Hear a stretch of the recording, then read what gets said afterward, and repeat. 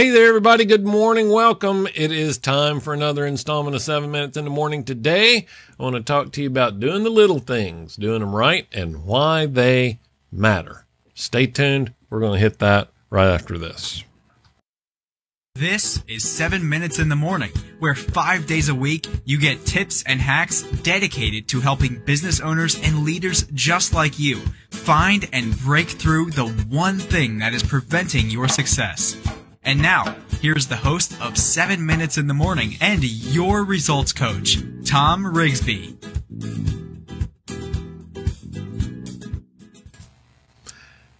Hey, look at that. We're back. Good morning, everybody. My name is Thom, and this is 7 Minutes in the Morning show where we talk about how to start, growing, and enjoy the benefits of business ownership. Do me a favor when you get here, go ahead and leave a comment. Say hi, hello, good morning. Let me know that you are here, uh, just as Joe and Catherine have done already. A glorious day. I love seeing that. Little things do add up to big differences. That's what we're going to talk about today. That's one reason I was running a little bit late because I have graphics today. And actually, yeah, good. I did start with the right one. This is a, a an excerpt. I'm just going to jump right into this because I'm a little excited to talk about this topic. Throughout the week, we've kind of been talking about goal setting. Even back into last week, we were talking about goals and um, some of the issues around and associated with setting goals. Well, today I want to show you kind of why this is important. And, and this is a, um, an outcrop of, um, of this program that I've been talking about, the uh, outcomes based framework for success. This is part of a modified part of what we talk about there. So in the graphic, you can see if you're listening, I'm sorry, you just have to come watch the show. Go to YouTube and uh, look up Thom Rigsby. Do the little things matter.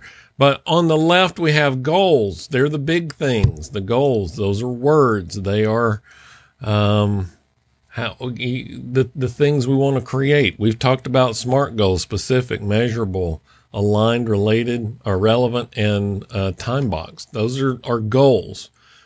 Well, sometimes those goals can be pretty big and daunting, and we look at them and like, oh man, that's yeah.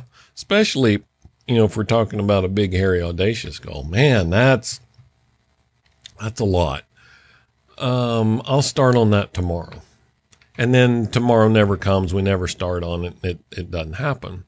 So this is a continuation of the process, and as I've kind of been working through uh, some things for um, another project I'm working on.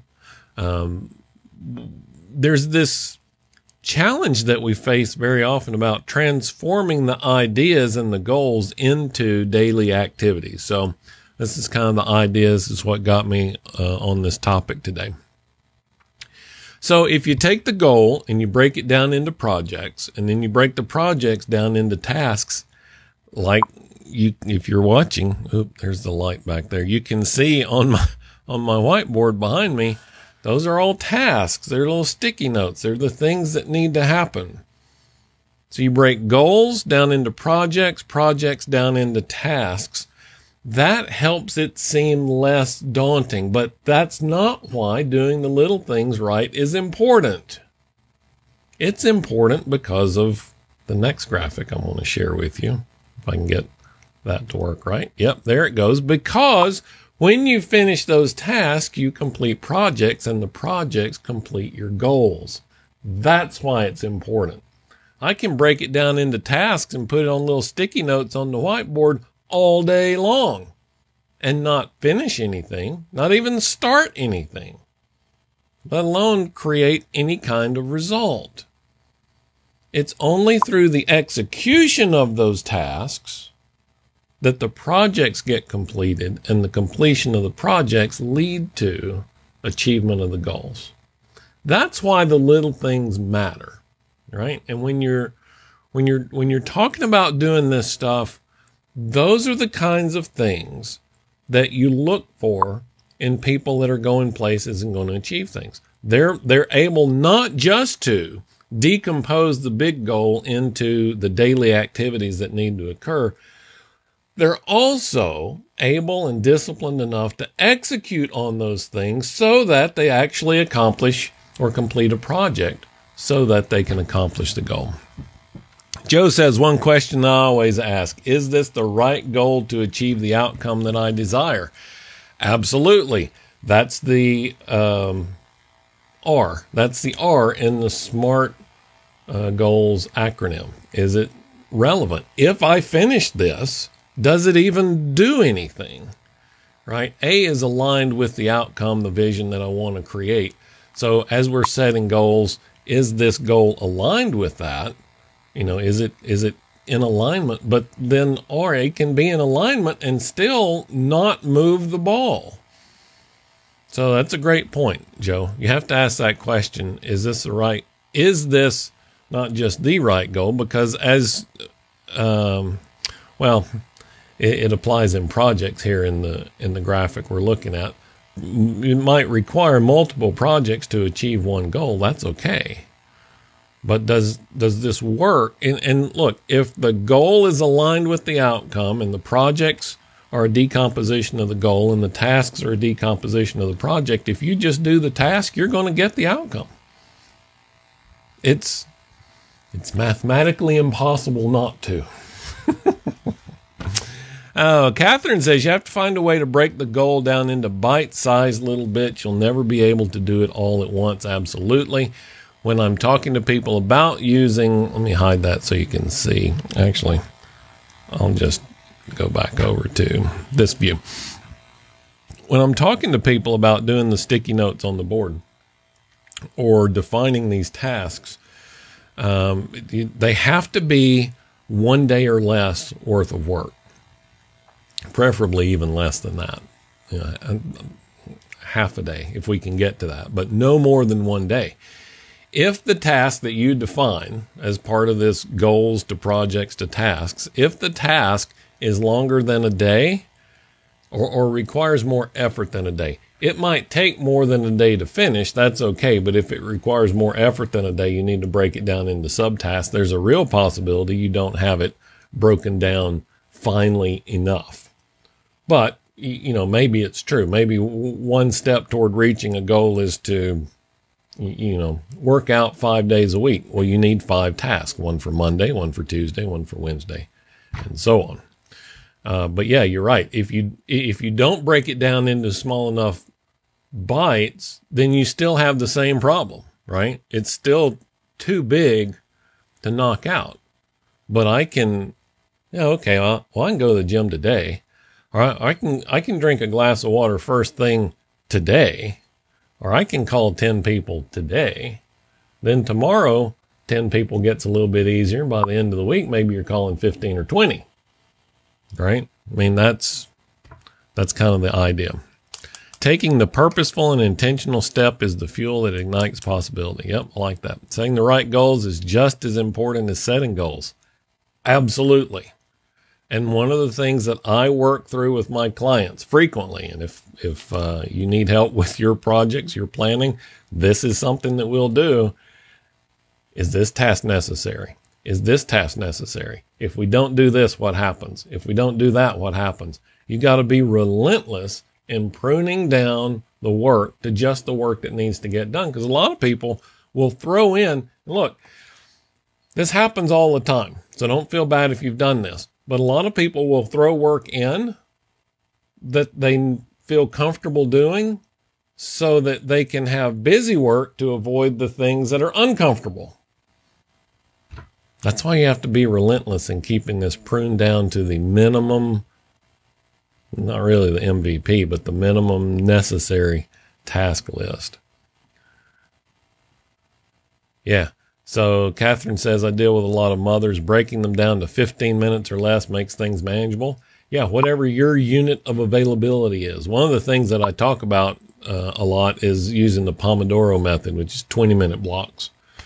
Um, but yeah, whatever whatever your unit is, break it down into that. And look, for those uh, people that you're working with, Catherine, that, that's that's a great plan, right? Because if that 15 minute block is what they have, but their tasking is at 30 minute levels, then they're not going to see the progress that they need to maintain momentum and encouragement They need those tasks to be 15 minutes so they can see them being finished. They can see them being crossed off the list. Uh, Joe says, I always ask, do I have the resources and knowledge that I need to accomplish this task? If not, who or what do I need to move forward? You know, that is a very insightful question uh, to ask as well, Joe. Um, one of the things that I teach, I'm a really strong advocate for, is do what you do best and hire the rest. And there's, when you do that, you know, you should spend roughly 85% of your time doing what you do best. Right. So there is time in there to learn and grow and do the, do the things that only you can do. But when you do that, when you adopt that as a philosophy, you will find that there are things that you just don't know how to do, and it doesn't make sense for you to learn how to do them. For example, if you're not starting an accounting practice, don't teach yourself accounting. I mean, learn management accounting so you know how to read and interpret the documents, but you don't have to, you know, sit for the CPA just to have a business. Right? So there are times where the resource you need, you know that some outcome needs to happen. We need to update the website, but I don't know how to do that. I guess I'll have to watch a bunch of YouTube videos and teach myself HTML. No, don't do that. You know the outcome you need to create. Now's a great time to hire a resource, to bring a resource in to help you. Maybe that's with marketing. Maybe it's with HR. Maybe it's frequently it's with finances.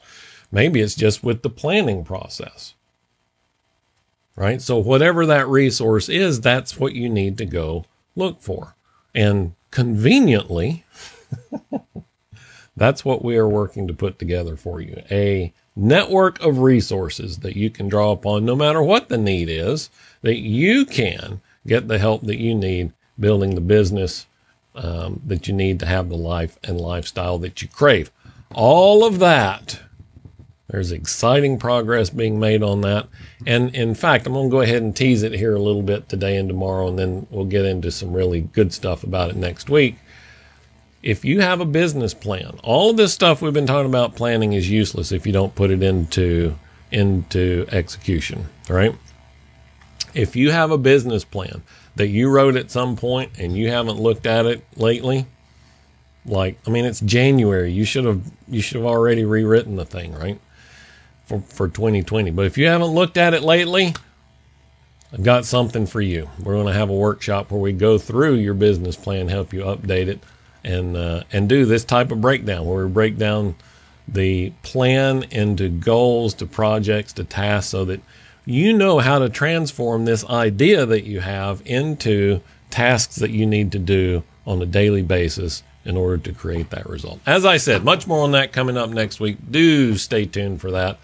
I am uh, pretty excited about that. Okay, that's it for today. Way over on time, but I hope that that's been helpful. If it was helpful for you and you got any benefit today out of our conversation, I would appreciate the old heart stars, thumbs up, likes, whatever is appropriate in the venue where you are watching or listening.